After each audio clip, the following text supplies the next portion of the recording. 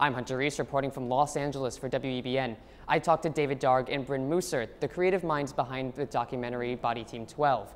They told me about their experiences in Liberia and the brave people they met along the way who helped to fight the Ebola pandemic. People were dropping dead all around us. Even healthcare workers that were taking the same precautions we were were dying. But it gave me a glimpse into what those body teams were having to experience on a daily basis. And this film is about the story of those people that are willing to stand up, those humans that define human history by being the ones willing to stand up and fight and save the rest of us. This project of Body Team 12 has been probably the most rewarding film that we've made. It's a story that we're really proud to tell. Um, Garmai uh, I think is representative of millions and millions of community health workers all over the world who don't normally have such a spotlight. And you know, here we are on Oscars Eve talking about Garmai and, and sharing the story of, a, of an incredibly brave young Liberian woman. That's a real success story for us.